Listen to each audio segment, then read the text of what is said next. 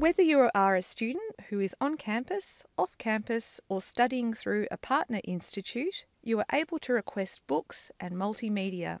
The library will send items between campuses for free, or if an item is on demand, you are able to place a hold to ensure your place in line for the next returned copy.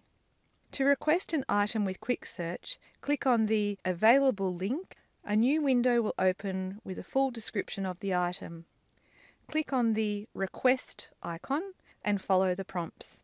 Log in with your student number and password.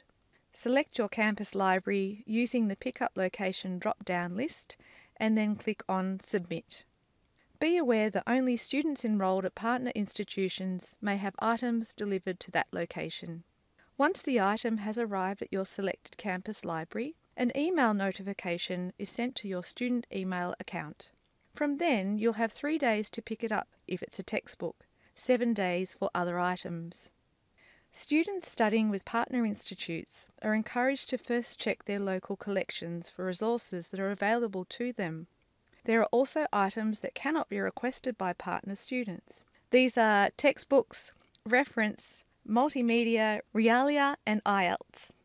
Students who are studying off campus can have items except Realia mailed directly to them for free of charge. When selecting the pickup location drop down list, choose Eligible Postal Delivery.